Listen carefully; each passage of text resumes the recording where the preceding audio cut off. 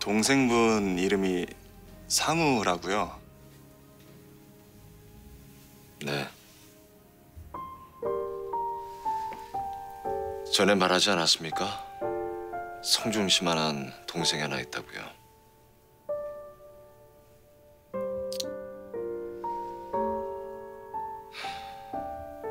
그 아이 일곱 살 때 잃어버렸습니다.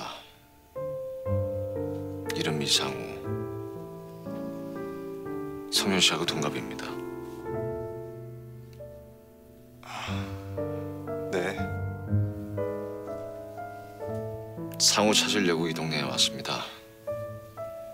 그러다가 성준 씨도 입양되었다는 걸 알게 되었고 그래서 그때 미안했습니다. 다짜고짜 민감한 질문을 해서요.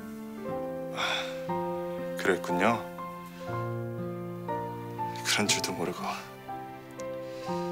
저도 죄송합니다. 아닙니다. 우리 상우도 이렇게 건강하고 반듯하게 따뜻한 가족 속에서 살았으면 좋겠다고 평생을 바래왔었거든요.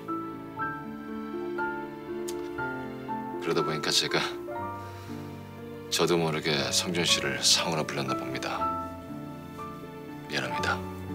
그런 이유에서의 친절과 관심이었는지는 몰랐습니다.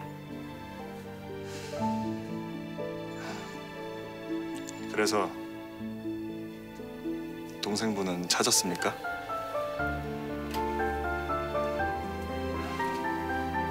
꼭 찾으실 겁니다. 그리고 분명히 저보다 훨씬 잘 자랐을 겁니다. 한성준 씨, 네? 가족들과는 행복합니까? 그럼요. 가족들과 행복하지 않은 사람도 있습니까?